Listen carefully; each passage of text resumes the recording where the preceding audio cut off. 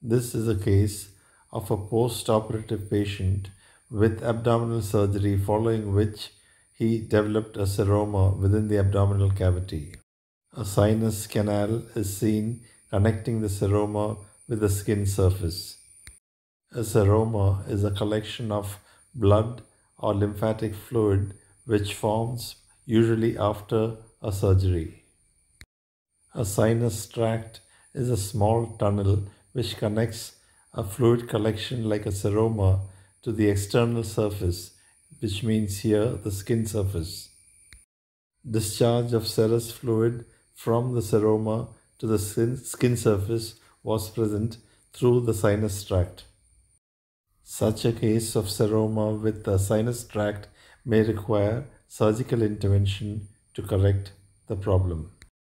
Power Doppler of the region did not show significant increase in vascularity, thus ruling out the possibility of a serious inflammation. Follow-up ultrasound was advised.